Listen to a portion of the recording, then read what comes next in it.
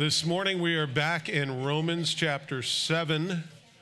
We're going to go through the first 13 verses. As you remember, the book of Romans is basically the Apostle Paul sharing the gospel. And he begins by telling us how out of shape we are spiritually and how we need a Savior. And then he explains how all of the things in which we've trusted in, maybe naturally, are just incomplete and they're basically empty because we trust on performance instead of trusting in God. We trust in our perfectionism instead of trusting in Him and having a relationship. And so today he's going to talk about grace versus the law again, and we're going to look at it here in chapter 7. He begins and i have titled this the, the Power of the Law. In chapter 7, verse 10, it says this And the commandment, which was to bring life, I found to bring death. I don't know how many of you are uh, fond of the law, unless you're a lawyer. Um, but whenever you hear about law, it's usually that you've broken it. Uh, in fact, that's the very reason that laws are there. Not that you break them, but that's so that you know that you broke them. And so we're going to talk a little bit about that, but pray with me before we get started. Father, as we bring our hearts before you and as we look into your word, we realize that we have things to learn, we have ways that we need to change. And I pray that you might do that by your Holy Spirit because none of us here is perfect. None of us has achieved anything. And certainly without you, Lord, there's no good thing that dwells in us. And we thank you that you have come and made a difference in our lives as our Savior. Pray that you might fill us with your Holy Spirit, with understanding, with kindness and love towards one another today, and help us to understand your plan so that we know how we fit in. We pray you help us with that in Jesus' name. Amen. Amen. So, we're going to jump in. Remember, we're in the book of Romans. We're going to be in chapter 7, which is right in the middle of the sin and sanctification part. Everyone basically stands guilty before God, and it doesn't matter where you are, if you're someone on a desert island or somebody very well versed in the Old Testament or even the New Testament, all of us stand before God as hypocrites because we know all of the right things to do, and yet we don't do those. And when we get to the second half of chapter 7, we'll talk about that. We talked. Uh, we talked previously in chapter 6 about how we're dead to sin. Sin is no longer to be reigning in our mortal bodies. Sin doesn't tell us what to do. Addictions have no place in a Christian's life because sin doesn't tell you what to do. You're not a slave to sin, you're a slave to Christ. Amen? So, moving on to chapter 7, he begins here in verse 1. Or do you not know, brethren, and I speak as those who know the law, that the law has dominion over a man as long as he lives. For the woman who has a husband is bound by law to her husband as long as he lives. But if the husband dies, she's released from the law of her husband. So then, if while her husband lives she marries another man, she will be called an adulteress. But if her husband dies, she is free from the law, so that she is no adulteress, though she has married another man. Therefore, my brethren, you also have become dead to the law through the body of Christ, that you may be married to another, to him who was raised from the dead, that we should bear fruit to God. For when we were in the flesh, the sinful passions which were aroused by the law were at work in our members to bear fruit to death. But now we've been delivered from the law, having died to what we were held by so that we should serve in the newness of the Spirit and not the oldness of the letter. Well, what shall we say then? Is the law sin? Well, certainly not. On the contrary, I would not have known sin except through the law. For I would not have known covetousness unless the law had said, You shall not covet. But sin, taking opportunity by the covenant, by the commandment, produced in me all manner of evil desire. For apart from the law, sin was dead. I was alive once without the law, but when the commandment came, sin revived, and I died. And the commandment, which was to bring life, I found to bring death.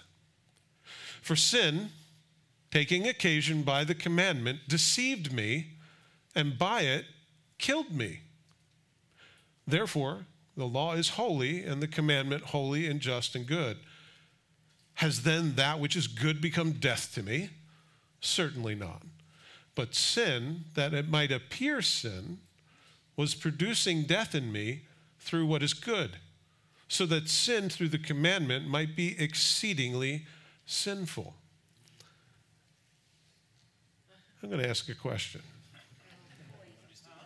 How many of you feel like you're in law school? we're going to go through it. We're going to go through the step at a time, and you're going to see it has a very logical flow to it if you haven't noticed that already, and it has a very understanding meaning. And we're going to pick it up as we go through. So hang in there. The law. Uh, you know, normally, you know, we have all kinds of songs about the law. You know, I fought the law and the law won. You know, we have all kinds of songs about the law. You know, I shot the sheriff, I issued the jeopardy. You know, there's all these songs about the law coming down. And, you know, when you think of the law, there are lots of different ways to think of it. There's the law of God, which God has created, and He's explained to us through the, the 66 chapters, uh, 66 books of the scriptures. So that's God's demonstrated will. He tells us what he would have, and we call that the law. Uh, the Ten Commandments is very often called the law. Uh, the, the first five books of Moses is called the law. Uh, gravity is called the law so we, when, when you talk about the law, there are all different sorts of aspects of it that you can think of. Basically, it is the right thing to do. I, I break it down to simplicity because it's the only way I can remember things. Uh, so that's why I explain it so simply, because I'm a simple man. It's the thing that you should do, like a stop sign. It's not there for people who are cautious who stop anyway and go through. It's for people who are tempted to just not even care like me, if I'm in a hurry, or you. Lights are not there for people that don't understand intersections. They're for people who are not paying attention. We, there, there are laws throughout the world that are put there for people that would be breakers of the law. And yet, the laws are being broken everywhere. In fact, today, it's actually a cool thing to be part of a group that breaks the law. Whether you're on the far left or on the far right, uh, people are polarizing. Have you noticed that? you're, you're getting radical people on both sides. So they just tried to, anyway, I don't want it to be about, the, you guys came here to get away from all of that. But here's the law. You either hate it or you, or you embrace it. If you embrace it, you yourself are a lawbreaker, so what do you do when you find that out? I don't know about you, but when I drive, I expect everyone to obey all the laws, although sometimes I don't. And I'm not talking like an emergency, like my wife's giving birth. I'm talking about I'm just in a hurry or I've had too much caffeine or something. So the law is this sort of an understanding. It's it's doing the right thing, and whatever it is that you understand that right thing to be. Certainly, the scriptures explain it to us. Our society does, and then we have certain laws like entropy and gravity, which, as you get older, begins to take over. So there are certain laws, and you can't avoid them and, and you can't necessarily skirt around them. So when, when he talks about the law, understand it's just the right thing to do. And if you get that, it'll be a bit easier to understand. He begins by saying, Or do you not know, brethren, for I speak as those who know the law? By the way, this is the book of Romans, so he's writing to the Romans, which law was extremely important to them as well as to the Jews. If you think about the, the whole hierarchy of the Jewish temple and all, the laws were very, very important, but they were God's laws. In Rome, it was, you know, that's where we got democracy, uh, you know, uh, from Greece. And so the law, he's speaking to those who know the law, that the law has dominion over a man as long as he lives. Did you know that? As soon as you die, it's all over. Speeding tickets are null and void. Doesn't matter what vehicle you're in. You won't get one because you're dead. And then he brings up the example of marriage. For the woman who has a husband is bound by the law to her husband as long as he lives. By the way, that's what the scripture teaches. If you get married, it's a lifetime commitment. So, ladies who are not married, men who are not married, make sure you make the right choice because you are bound, that word's chosen very carefully, bound to that person as long as you live. And people very easily will make that commitment at the altar, but then one, two, three, five, ten, twenty years down the road, you tend to forget. It's a lifelong commitment. But if the husband dies, she's released from the law of her husband. Some people would go, Yay, you know, I'm free, I'm free at last. So it, it, begins at the altar, and he's using the example of the law, which is, you know, doing the right thing and God's expressed will in his scriptures. He's saying that law, in fact, all laws, only apply to living people. Because once you die, eh, all bets are off, right? So death terminates the law. And doesn't mean murder is the way out of your marriage, which you might think does not need to be said at church on a Sunday. But this is the only way out right here, uh, according to the scriptures. And yet, murder sometimes people believe is an option to get out of a marriage. It's not murder, it's death. So that's a very different thing. Although there are people who actually believe that they can get out of a marriage by killing their mate. And they tend to be men, but there are women who do it on occasion. Uh, and there are some very famous people who are accused of killing their wives or girlfriends to get out of a relationship. But you understand, Paul is teaching a principle that the law does not apply to somebody who is dead. Right? You get it. Okay.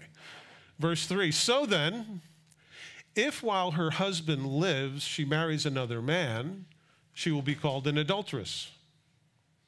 But if her husband dies, she's free from the law. You guys understand that, right? If you're a widower or, or, a, or a widow and your mate dies, you're free to marry again. Make sure you choose well because it's, it's a difficult relationship. If her husband dies, she's free from the law so that she is not an adulteress, she's no adulteress, though she has married another man.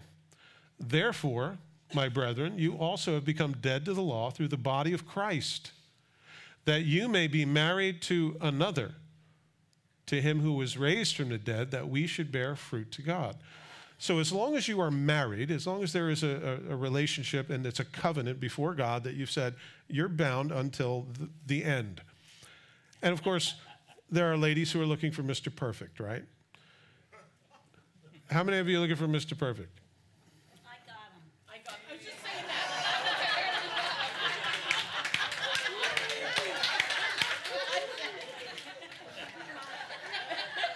We're all laughing because we know better.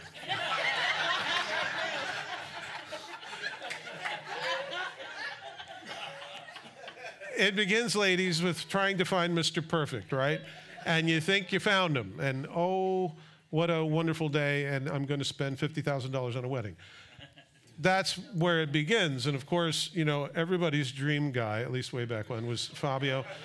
You know, I'm looking for Fabio because he's on the cover of every you know, uh, you know, dicey novel that you might read uh, for the ladies. By the way, that's that's female pornography, just so that you know. Um, it truly is. Males they go for the visual usually, and females go for the the hyper romantic. And of course, he's on all the all these dime store novels. Anyway, so you're looking for Mr. Perfect, and you look to get married, uh, and then it doesn't take long until you realize uh, he, he's not so perfect because he doesn't measure up. And let's say he did.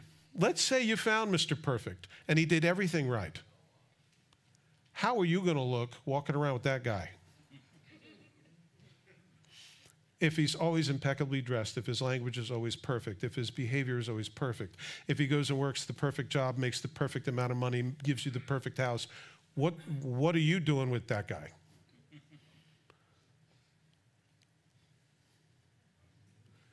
That's what it is to serve the law. Because serving the law and being married to the law and saying, this is the way that I live, in fact, most people do. If you ask them if they're going to heaven, they'll say, yes. And you ask them why. And they will say, because I'm a good person. because I'm married to the law. You see, I believe in the law of perfection, of doing everything right.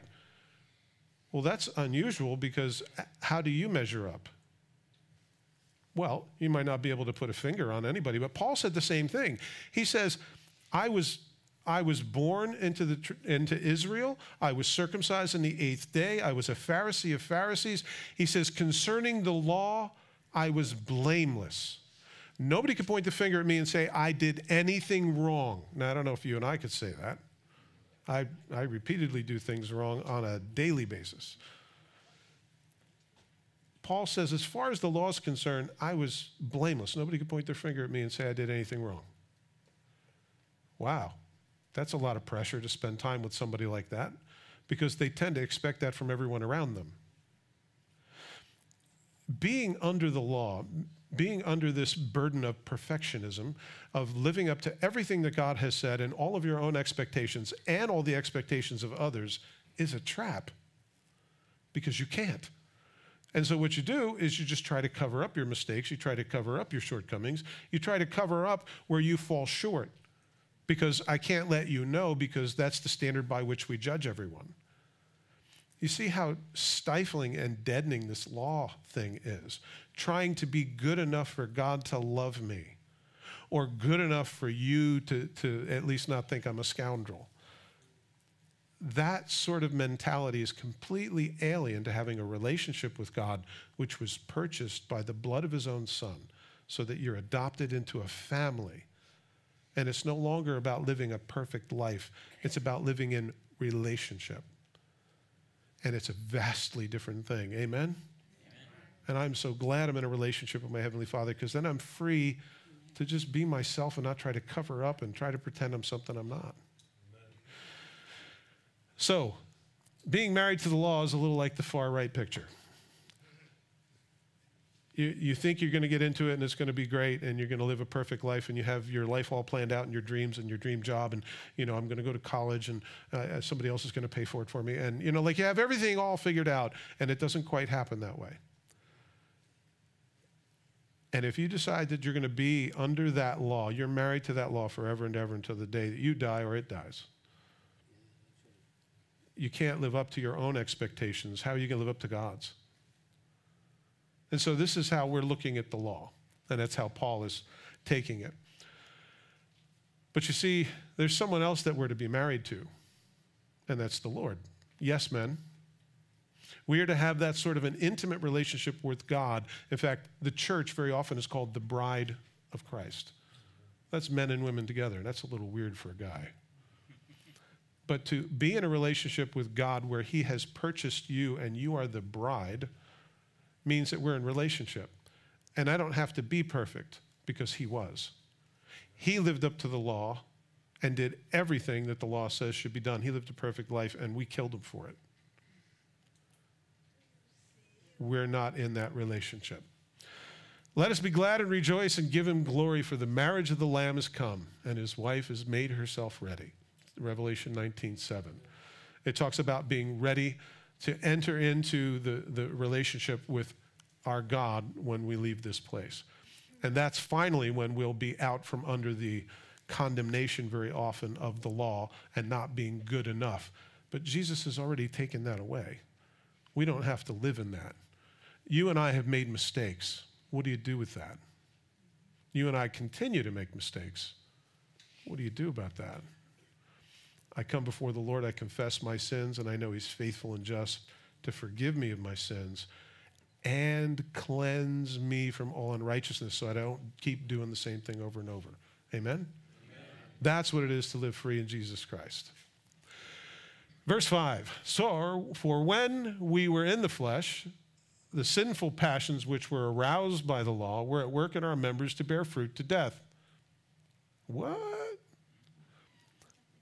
For when we were in the flesh, those of you who have come to know Jesus Christ have had a, a born again experience, have become a new creation in Christ Jesus. The old things are gone, behold, all things are new. If you have that, then you remember those days, even as uh, Agnes was singing today to remember. For when we were in the flesh, the sinful passions which were aroused by the law were at work in our members to bear fruit to death. Simply put, all you have to do is put a sign that says wet paint, and somebody will sit on it. You ever see a sign wet paint? The temptation is to take your finger and go, oh, it's not that wet. the sign is there to tell you something. It's to tell you to leave the thing alone, or your fingerprints will be indelibly, you know, into this piece of artwork now that you've done it. So it's one of those things. You, you see a present under the tree, and it says, do not open till Christmas. The mind goes wild. The ladies had a retreat here yesterday, and the lunch came 45 minutes early. there were people milling about and selecting which sandwich they were going to have and what portion. It was all under plastic so you could see it, but you weren't supposed to open it. I went in the kitchen the other day and there was stuff all over this cart that we used for the men's breakfast, and it said, For women's breakfast, do not touch. and there were signs on the water, Women's breakfast, do not touch. I opened the fridge, Women's breakfast, do not touch. I got to tell you, I went, And not only that, I had to get all that stuff off the cart because I needed the cart. and so I put my hands all over that stuff and unloaded the cart so we could use it. But it's a funny thing, and we laugh about it. But when there's a law and there's a direct something that is told to you with authority, there's a rebellion. There's a rebellion. Who are you? You're not my father. You know, like there's this thing, and it's and it's a thing, and we all have it. And it's not just us. I mean, it's, it's, it's everyone, really. But that's, the, that's the, the law. The law arouses passions in us. We used to work at Home Depot, and it says, do not use blades to open. It was like, yeah, right. The inexperienced people that don't know how to open packages, that's who that's for. That's not for me. See, because I know how to use a razor knife.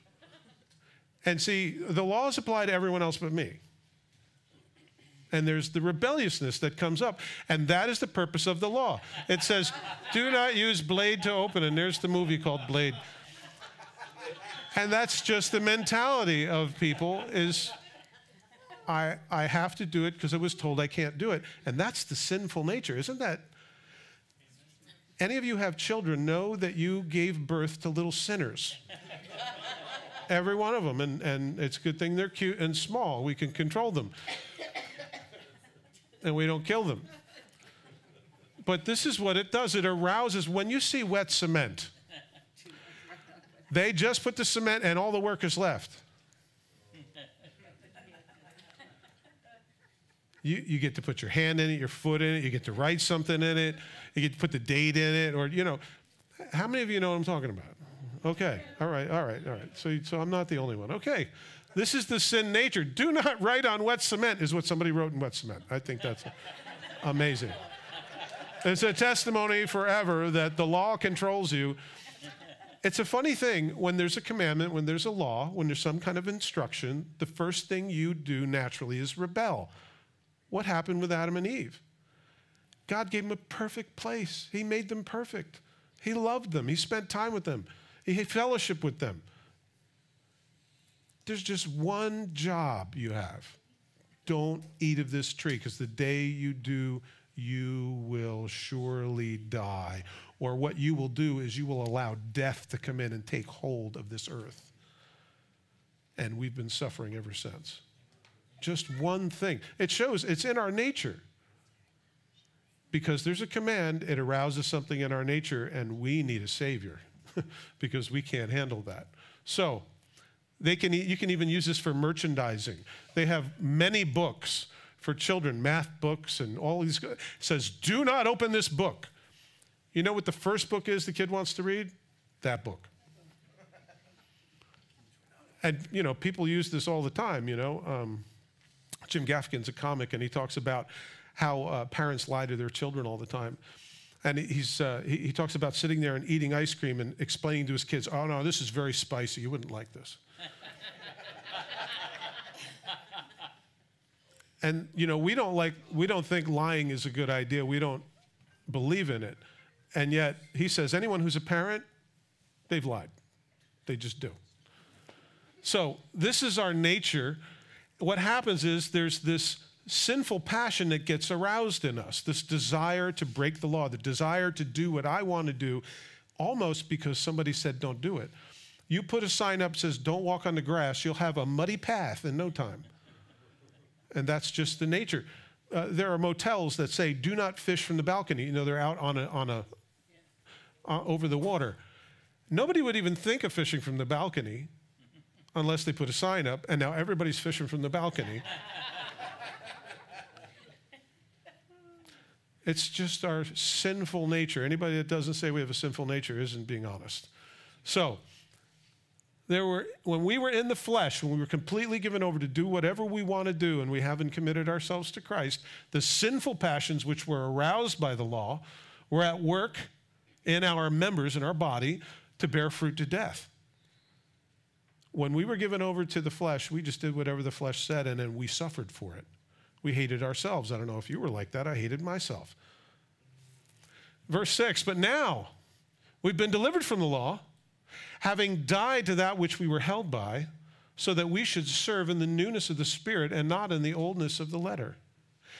You see, if somebody says, So you're a Christian, you say, Yeah, I'm a Christian. Well, what does that mean? Well, it means I read the Bible and I pray and I go to church and I give to other people and I, you know, that's what I do. Is that what being a Christian is? No. If you think that's what a Christian is, you've just fallen under the law. It's about coming into a relationship with Jesus Christ, through Jesus Christ, to God the Father, because I'm a sinner and broken and I needed to be fixed. And now the Spirit of God lives inside of me and I don't naturally, I don't have to give over to my selfish desires. I'm no longer a slave to sin. I'm a slave to righteousness. And God put a new heart in me and He put a new mind in me. I'm a new person. That's the born again experience. It's not, hey, I'm a Christian because I read the Bible and I go to church and I give 10% of my pay and I, you know, like that. Okay, I understand that that's kind of the outgrowth of what a relationship is, but if that's what you think being a Christian is, you missed it. We died to the law. It's not that we don't want to please God and do what He wants us to do. It means that we do love God and we want to do what He wants to do instead of having to do what God wants us to do. There's a big difference, right? I got to get up and go to church. I mean, wouldn't you love that if I did that this morning? I'm going to go and teach these people. They never listen. You would love to have me as a pastor. This room would clear out real quick.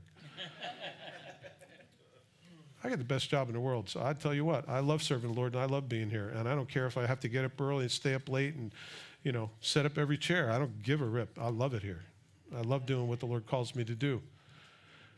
We've been delivered from the law. It's not about what you have to do. It's not the, the have tos, it's you get to. It's a much different world.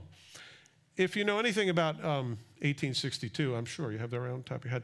Uh, Victor Hugo wrote a story called Les Miserables or Les Miserables, however you want to say it. You could get all Frenchy with it. But he, he wrote this thing, and in 1998, they came out with this movie. And uh, this is the particular movie that I like because Geoffrey Rush plays Javert. How many of you have seen this? Javert. And then uh, Jean Valjean is uh, Liam Neeson, uh, whose name I love to say, Liam Neeson. It's just lyrical. Anyway, and Uma Thurman and Claire Danes. So uh, that's for you, Scott, because you know everything. So there's this wonderful, there's this wonderful story about a man robs a, a loaf of bread, and they put him in jail for nine years. And because he has a rebellious spirit, all the time he rebels. And so that's why he stayed there for so long. So finally, he learned to shut up and he got away and he was released. But of course, in in this period of time, if you were a criminal, you were always a criminal and nobody trusted you, and he had burned all his bridges by then. So he's looking for a place to stay, and somebody says, Well, there's a place you could go uh, instead of sleeping out on the street. And he was basically a vagrant. So sends, sends him over to the bishop's house. And the bishop sees him at the door and takes him in out of Christian kindness and out of love.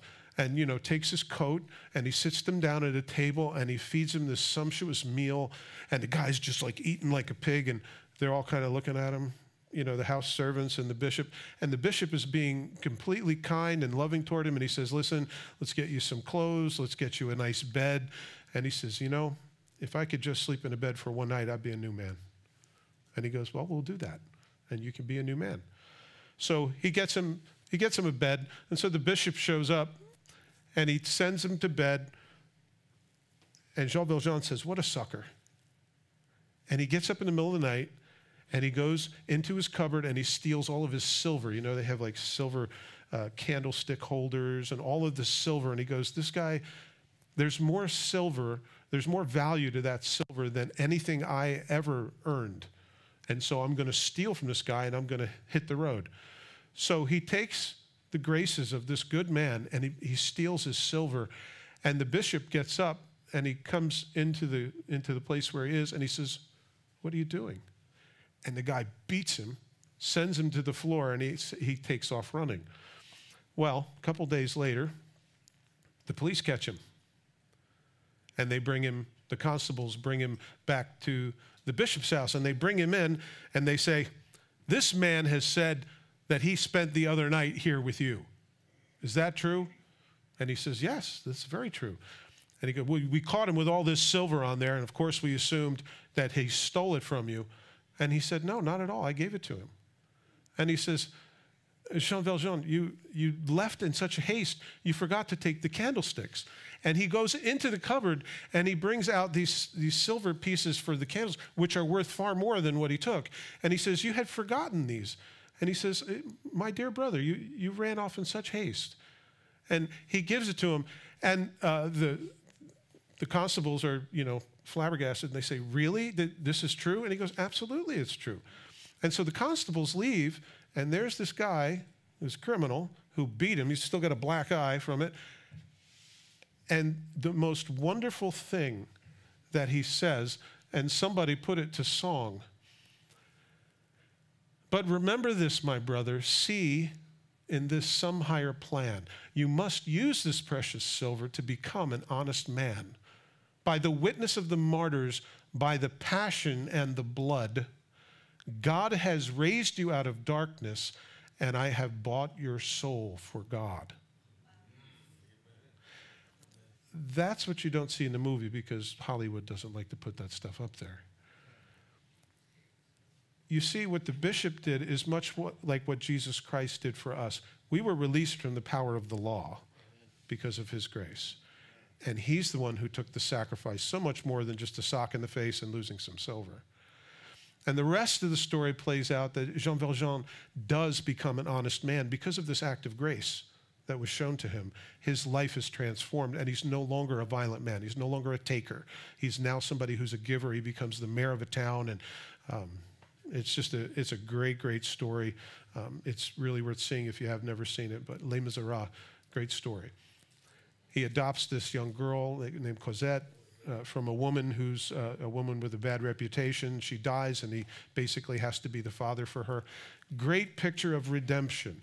Great picture of what it is to be released from the law. But you see, the bishop had a choice. He could either side on the side of law and prosecute this guy or have grace. And it's like what Jesus tells us. You know, he says that we're supposed to go the second mile when someone forces you to go with them for a mile, you go with them too. And when somebody strikes you on the cheek, you turn the other cheek. You see, this is the law of grace. This isn't the law. You know, if somebody strikes you, I'm going to sue you, I'm going to make a million dollars. That's pretty much the mentality of the world. But for a Christian, it's if you strike me, then, you know, if, if you strike me in the other cheek, maybe you'll have an opportunity to listen and I'll get to speak grace to you and tell you about Jesus Christ. Or if somebody wants to sue me for my tunic, he says, give me your coat as well. Jesus is talking about not having that sort of natural rebellion and this insistence to be under the law. Because if you're under the law, the law will fall on you because you're a sinner, just like me. Amen?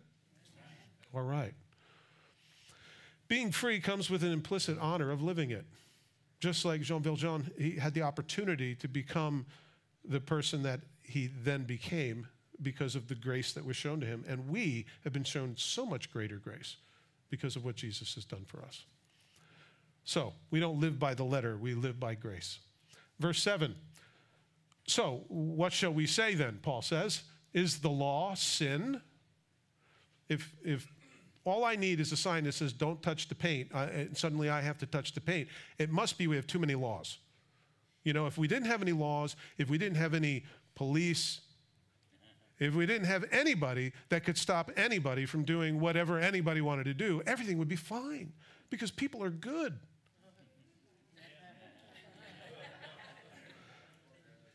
World full of Charles Manson, sure. What shall we say then? Is the law sin? Is it because we produce laws that produces sin? It says certainly not. On the contrary, I would not have known except through the law. For I would not have known covetousness unless the law had said, You shall not covet. By the way, that's the toughest one of the ten. You know, you shall not have any other gods before me, not make an idol and bow down and worship it. Uh, you shall honor the Sabbath day and keep it holy. Don't steal, don't murder, don't commit adultery. You, you, know, you know the commandments. The tenth one cuts right under your skin and it says, You shall not covet. For those of you who don't not familiar with this word, it means to have a strong desire. Don't have a strong desire for anything that belongs to anyone else or anything sitting on the showroom floor or anything that Amazon tells you is new. Don't covet anything you see on TV, not your neighbor's wife. You see, it's not about adultery, it's about wanting. And so when you read that law, you go, What? Well, listen, you know, the others I could, you know, I kind of fudge and look pretty good, but that one, don't have a strong desire for anything that belongs to anybody else. Some of you came in here and somebody was sitting in your seat. You broke that one. you went in the kitchen and said, Do not touch, and you saw it moved. I wish I knew who did that. You know. I took the water, I confess. We all knew that. For I would not have known covetousness unless the law had said, You shall not covet. So the law is useful because it shows us where the boundaries are and that we're boundary breakers.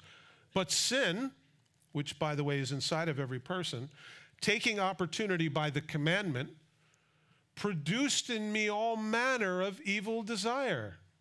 For apart from the law, sin was dead. I mean, if somebody said, don't touch that, I don't really have a problem now, but there was a problem when I'd touch it just to make trouble. What do you mean? Like this? Or you mean I can't kick it like this? or I can't break it like this? I mean, that's how rebellious I was. God help me. Thank God I'm not a slave to that anymore. But apart from the law, sin is dead. If you don't have a law, then you don't have a sin. If God didn't say don't do it, then it's not wrong. But as soon as somebody says don't do it, suddenly you want to do it. The, the, you know, hey, where do you want to go for dinner? Ah, I want to go to this place over here. Well, they say you need reservations. Oh, well, I want to go even more because it's probably packed. That's the sinful nature.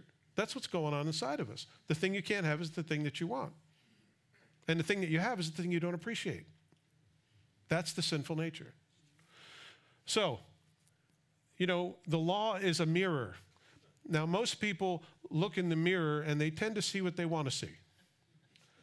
You know, the one eyebrow that has an, you know, has a hair that goes way up here, you'll miss it. I've missed it. Many times my wife tells me about it. Or the little tuft of hair that grows on the top of my ear. Or, you know, if you're looking in the mirror, you're looking for something specific, you'll miss it. But see, if you're going to look in the Bible and you're just going to pull verses out and look for what you want, you'll find whatever it is you want and you'll walk away and you won't understand the rest of it. So we have to be very, very careful that we don't see the things we want to see and we're blind to the things we don't want to see. It's like hearing. You know what selective hearing is? That's when my wife says, I told you that yesterday, and I go, No, you didn't. You're a liar. and then I have to give her all kinds of laws. If I'm watching TV, don't talk to me. I don't hear you. If I'm having a conversation with someone else, I did not hear what you said. And we have all these laws now that, that she understands.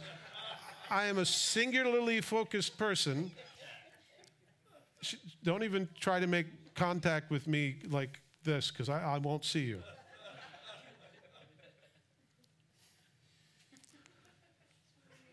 we tend to see the things we want in the mirror.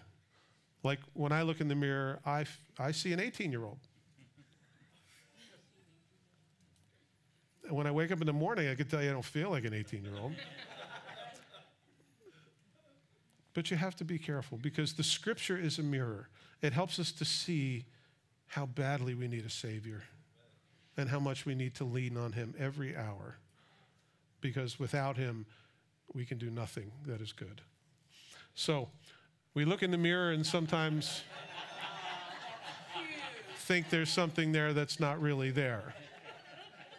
You know, you think, we used to have a mirror in Keyport, which was awesome, on the back of the bathroom door. Karen Foley likes that mirror. Uh, did you ever get that mirror?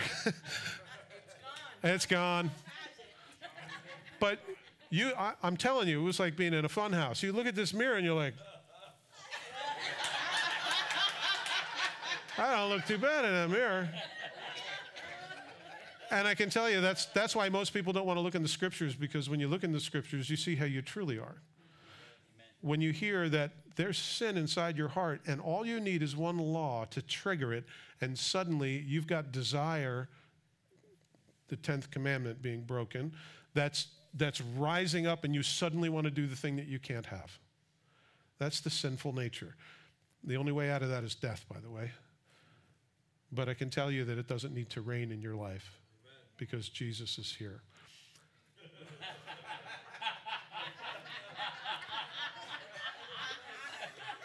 Many people will look in the mirror and blame the mirror for what they say.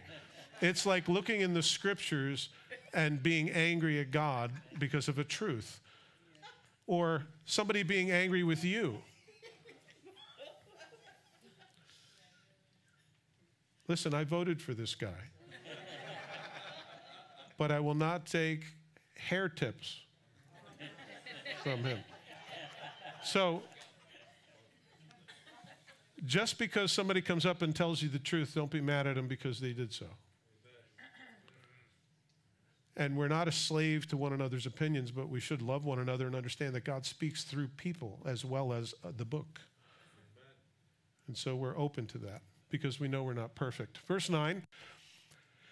Paul is speaking in the, in, the, in the past tense. He's saying, I was alive once without the law. But when the commandment came, sin revived and I died. And the commandment, which was to bring life, I found to bring death. You know, God's word is supposed to be a path for us and a mirror for us. It's not supposed to be death, but what ends up happening is because I have a sinful nature, God tells me all these things I shouldn't be doing, suddenly I'm doing them. Why is that? Because there's sin inside of me. And if you don't know Jesus Christ, it rules you. So he says, I was alive once without the law. Now, this is Paul who grew up in a, in a, a good family. He was a Hebrew of Hebrews. What's he talking about? He's not talking about a certain point in time, he's talking about everyone's experience. There was a point at which I was free. There was no law that said, ladies' breakfast do not touch. There was no law, and I was cool. Everything was fine until they put that sign up. And then all kinds of things came up in me, and guess what? I'm found to be a sinner. I'm guilty. I find out that I have a sinful heart and I have rebellion in my heart against God and a resentment towards people sometimes. And I died. It's the same thing as though I took the fruit all over again and bit into it. The law reveals that my heart is not right. And you can share this with unbelievers. You know, they say, Well, I'm going to heaven because I'm a good person. Oh, really? Well, what do you do with all your imperfection? What do you do with the desires that you have in your heart for yourself that you don't even reach? How do you handle failure?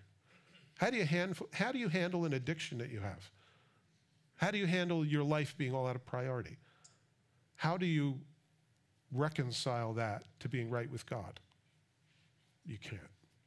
Not without Jesus Christ. So it's the wet cement thing. I see the sign, I keep walking, I figure, ah, it must be old, and so I keep walking.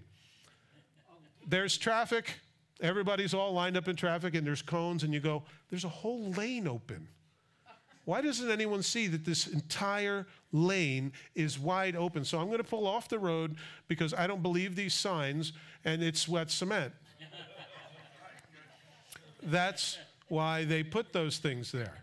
I don't know if you've ever been tempted to not obey a sign or not look out for cones or think, oh, well, this was done days ago. This is the weekend, there's nobody around. It's there for a reason. And you see, then you wake up and you go, uh oh, I'm a bonehead. And everybody driving by knows it. we waited in line and you didn't. Or you see signs that talk about a low bridge, and that's a problem. You know, if you have a 12 foot truck and it says 10 feet on a bridge, don't try it. But you see, that's what the law is. And so when you say the word law or this level of perfection or what should be, it always leaves us wanting. And it shows that we're not all good people. Not all of us are good people. Not any of us are good people. There's not one. We all need a Savior. We all need a new heart and a new mind. We need to be put on track with the Lord because it brings death. And guess what? Now you're dead. you are guilty you are, you are found to be in sin, and there's only one punishment for it, and that's to follow the devil and all of his angels to a place called hell. That is a literal place that God did not create for human beings, He created for the devil and his angels. But you then fall company with them because all of us are sinners. And the soul that sins must die. And the only way to pay the payment is with an eternity separated from God or accepting the free gift of life that came through Jesus Christ by believing in his birth, his life, his sacrificial death, his burial, and his resurrection. And through simple faith, God comes in and makes a change in your life so you're a new person. So, I'm no longer under the law, but I will observe it because I realize the purpose in it. Verse 11 For sin, inside of us, taking occasion by the commandment, which is the law, deceived me and by it killed me. I got busted trying to steal cookies off the kitchen counter.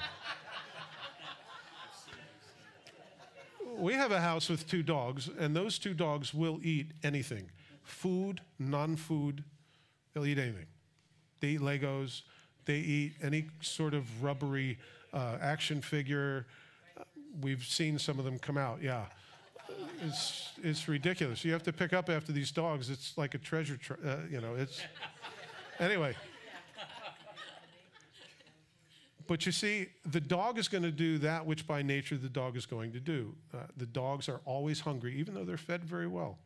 They're always wanting to eat something else. That's just the way it is. That's what it is to be sold to sin. That's what it is to be a slave to sin. I have to have something to fill me up. If I don't have something else to fill me up, I will walk around empty and I can't handle it. I need something. I need someone. I need an experience. If you're an adrenaline junkie, you need to jump off of something, or you need to go extremely fast, or you need to get on a roller coaster, or, you, or the next vacation, or I need, a, I need a raise, or I need a better job, or I need to move to a nicer neighborhood, or it's always trying to fill up the flesh, and the flesh is never satisfied. Contentment is the opposite of that. And with Christ, we can be content. It's enough. If I have food and clothing, with that, I will be thankful and I will be grateful. And we have so much more than that. You know, and sometimes we work together with other people to get what we want. And we can step on them and work together with them to get the things that we want. And we can kind of manipulate people to get what we want because we have this strong desire. And the law says you shall not covet anything that's your neighbor's.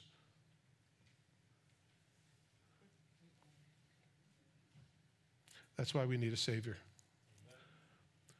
And it doesn't happen just to dogs, it happens with kids. You tell them not to do something, and that's the only thing they want to do is the thing you told them not to do.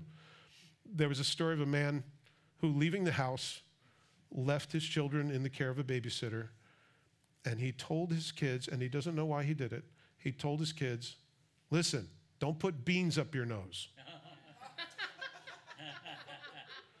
and he says, I don't know why I said it, but that night we got a phone call and had to go to the emergency room because the youngest one had found the beans and put them up in her nose, which she wouldn't have otherwise done having not been instructed that there was a law against it, thus proving the issue. You tell a child something like that, and it's the only thing that they can think about. It's like, don't think about pink elephants. There's residual in all of us, but it no longer controls us. And there are cameras everywhere, so eventually you will get caught being on camera. It's funny, somebody's watching every keystroke of your computer and every button push on your phone. There's somebody watching and somebody making merchandise of you, just so that you know. Verse 12 and 13. Therefore, the law is holy. There's nothing wrong with laws. They're important and they keep us all safe. And aren't you glad we have them? It doesn't create sin, it reveals sin. And the commandment is holy and just and good. So everything that God says is right. If you disagree with the word, you know who's wrong. Has then what is good become death to me? Well, that would be good. Just take away all the laws and I'll be good. Certainly not. But sin, that is inside of each one of us, that it might appear to be sin, was producing death in me through what is good, so that sin through the commandment might become exceedingly sinful. The whole point of the law is to reveal sin in each one of us. If, if you're turning the pages and you're not under any conviction whatsoever, I'm not talking about condemnation, but if, if, you're not, if you're not reading the scriptures and getting conviction, about what you need to do about it. Well, you're not reading it right. You know, we tend to, we tend to look at the scriptures uh, with a magnifying glass and study it and understand the original languages and all of that. And, and I think that's hugely important. But the problem is, we don't necessarily look to ourselves to find out what kind of what kind of thing is in me. You know, see if there be a wicked way in me and lead me in the way everlasting is not the usual trek. What we do is we read it for everybody else. Oh, somebody, you know, I wish somebody else that I know was at this sermon today, Pastor. I really think that, you know, you would have done them a lot of good if they were here to hear this. You're, you're not listening. The scriptures are for us. They're for each one of us individually to, to eat and digest, and sometimes it's a little sour in the stomach. But that's what we do with the word.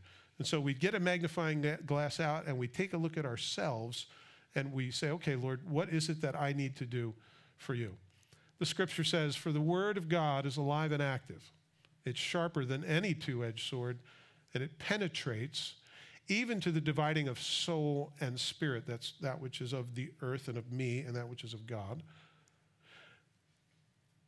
And joints and marrow, and it judges the thoughts and attitudes of the heart. Did you know that your heart has thoughts? You know your heart has attitudes, but did you know that your heart has thoughts? We tend to use the Word of God to look into everyone else's life and look afar and figure out how they need to get it right. What we could do, what we could do, and what I think we need to do as a body is we need to check each other out and not only make sure that we're free of bugs, but make sure the rest of us are free of bugs. So we use the Word of God firstly on ourselves, and then we can go picking through somebody else's hair, right? Come on, brave people. You got to tell me when that, that one hair has grown way off my eyebrow. I'm depending on you. The scripture tells us that the law no longer reigns in our life. It no longer tells us what to do because our relationship with the law, the law guides us because we have a relationship with God. And we do that which naturally pleases Him out of a new nature which He gives to us. It's nothing that we can boast of in and of ourselves. Galatians 3 21 to 25 says, Is the law then against the promises of God? Well, certainly not. For if there had been a law given which could have given life, truly righteousness would have been from the law. You know, if the law would have saved us, just giving me 10 commandments would have taken care of it. Oh, God, I didn't know you wanted these things. Now I do. I can do them, no problem. Eh, no way. If that's all it took, God would have done it, and Jesus wouldn't have had to die. But the scriptures confirmed uh, or confined all under sin. In other words, it shows us all guilty. That the promise by faith in Jesus Christ might be given to those who believe. You see, the law is to show us that we have a need so that we have a Savior, and so we would accept Christ Jesus. But before faith came, we were kept under guard by the law, kept for the faith which would afterward be revealed. Therefore, the law was our tutor or schoolmaster to bring us to Christ, that we might be justified by faith, not by keeping the law. But after faith has come, we are no longer under a tutor. A lot of us want to do what's right so that we look right, so we feel better about ourselves. If that's the case, you missed it. You're already made right through Jesus Christ. You're under grace. You're adopted as his child, and he will never leave you or forsake you. Don't think that you need to do something for God to love you, ever. I know, because I'm a sinner, and God loves me, and he's going to take me to heaven, not by anything that I deserve, but because Jesus Christ died for me. I just wish you guys would understand that the depths of your heart that you are received and accepted by the Lord Jesus Christ on the basis of his character alone, because there's nothing good that we can contribute. And then what happens is I naturally do those things which please the Father. It's, I'm not forced to, I'm not handcuffed to it, I'm not, a, I'm not burdened by it, and I'm free. I'm free to serve God from a right relationship through Jesus Christ. Amen? That's why it says grace on the outside of the building, because that is it. Last slide. Your righteousness comes from a relationship, not religious ritual or rigorous law keeping. If you haven't realized, that's the same slide for every week because it's important that we understand that. We're going to get into uh, the second half of chapter 7 in two weeks. Next week, our brother is going to give a sermon, Mr. Brian Walter, and it will be his farewell sermon to us. So I trust that you guys will be here and be expectant. Pray for him and his wife as they get ready for their new move. Um, they're going to need it because this right here, this doesn't come around all the time. We'll pray for something better. Let's pray as the worship team comes up. Father, you know our hearts, and I thank you that you have freed us from the power of sin and death. That we're no longer held bondage to be good enough for anything. That because of your love, because of your Son coming, you yourself, in the person of your Son, dying on the cross for us, that we have new life in you. And that you've sent your Holy Spirit to live and abide in our hearts so that we would naturally do those things which please you. And yet, Lord, we still struggle with the flesh, with the old programming, even though we have a new hard drive. I pray, Lord, that you might help us to understand that we're free, that sin no longer controls us and doesn't rule in our mortal bodies, that we might live in a loving relationship with you and not in a rigorous law keeping mentality.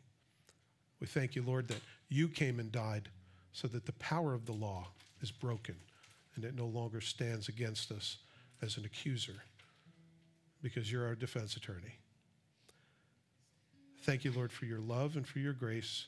Help us to be filled with it today that we might show it to others. In Jesus' name, amen.